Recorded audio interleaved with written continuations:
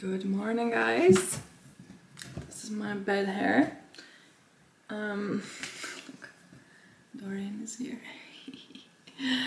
um, we just woke up, uh, Rakas and I, it's the weekend, and um, we're going out for brunch to taste maps. So I think I'll do a little vlog today because today is the only sunny, beautiful, warm day, and then it's gonna be back to like 4 degrees. I just got this brow product from Benefit, 24 hour brow setter, because I realized the um, Benefit brow product I had before wasn't the one I intended on buying. I actually wanted to get this one. So I didn't like the previous one, which was just like a, a whitish brow gel.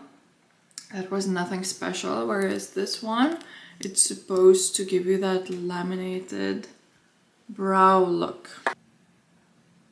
Like brush them up and press them down. I really like this one already. We took Dorian out for a walk and I'm gonna finish getting ready. Doing this without a mirror, just with my viewfinder. By the way, this is probably one of my all-time favorite lip liners and I don't mention it enough. It's by Lumene, which is a Finnish brand and uh, it's called Hazel Heart, the shade. I love it so much. And then I'm gonna use Rhode Salted Caramel Peptide Lip Treatment and my Diptyque Rose Fragrance. By the way, in the previous vlogs, I got questions on my hair and how I style short hair, so I think I might do a video on that. I just used a small bit of my Dyson to curl it a little extra and give it some bounce. I'm wearing a very cozy new uh, turtleneck from Lindex and off we go. There's always a queue here.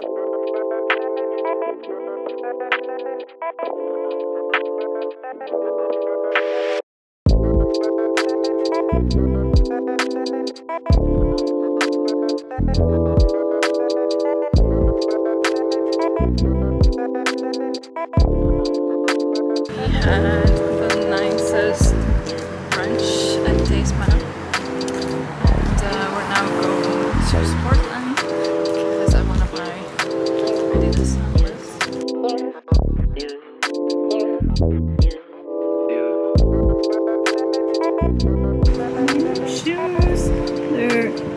comfortable. We're now going back home.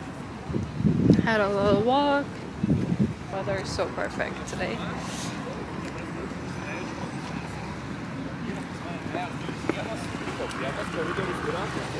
We're back home and I decided to reorganize our shoe wardrobe, which consists mostly of my shoes, like 90% or 80% of the shoes are mine.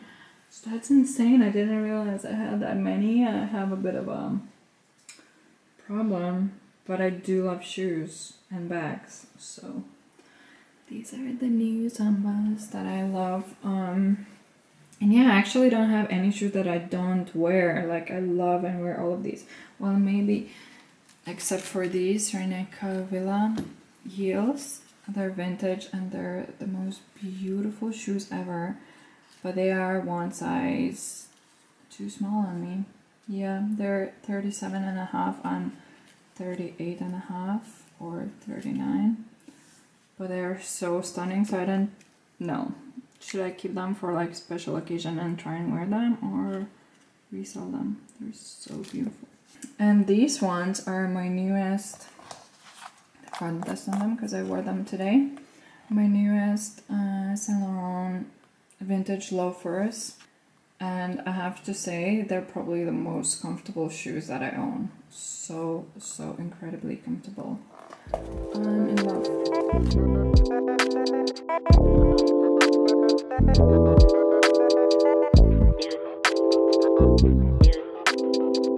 Okay, I want to show you the wardrobe, shoe wardrobe um, progress. This is it, um, but actually we don't have proper storage.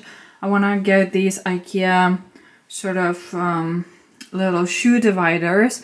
So that means we'll be able to fit shoes in a couple like rows here because there's a lot of free space and the shoes just lay on top of each other which isn't practical at all. So these are the ones that we'll be wearing now. Here in these dust bags we've got all the summer shoes or like occasion shoes. These are the ones that currently don't fit in the wardrobe. All of these ones are the shoes that I wanna consider selling.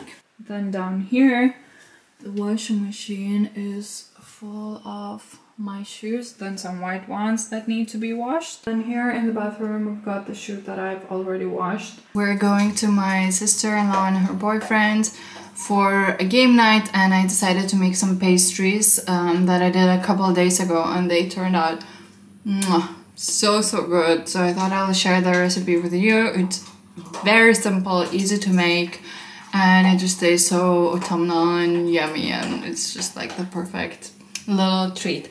So what you're gonna need is um, pre-made dough uh, which you buy frozen.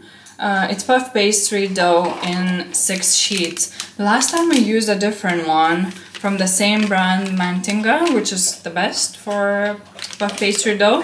But I use the red packet, so I'm gonna try with the uh, yellow one today. And basically you get six sheets like this. So you have to defrost them, take them out of the freezer, let them sit for a little while. Then you'll need some plums a little bit of brown sugar, some cinnamon, voila, that's it. The first thing you're gonna do is slice this sheet in four. Sort of measure them to be the same size, like so. And while doing that, preheat your oven to 180 degrees. Line your baking tray with a baking sheet. I think I'm gonna need two trays. These will be the top layer, so leave the same amount that you used in the baking tray to go on top of this. Um, and now what we're gonna do is cut up the plums.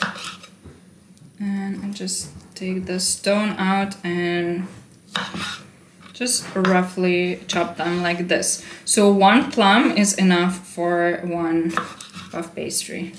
Lay them on your pastry like this. Take your sugar and just sprinkle it on top of the plums.